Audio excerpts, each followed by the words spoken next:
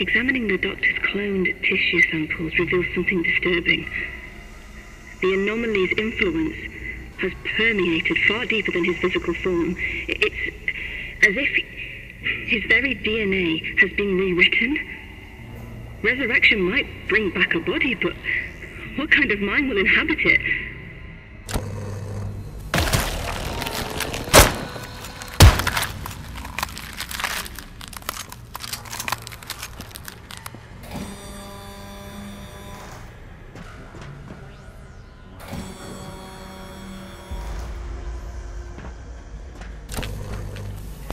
Meeting, log. The project's moral implications are now at the forefront. Are we truly restoring the Doctor, or are we creating something new? Something potentially uncontrollable? Th- This isn't just a scientific challenge. It's a philosophical quagmire.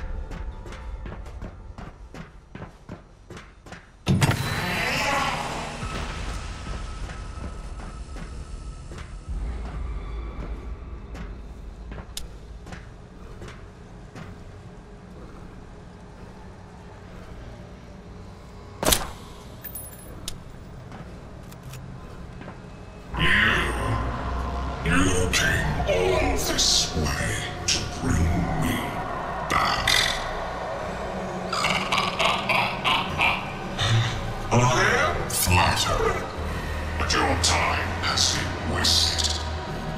You think you came from me?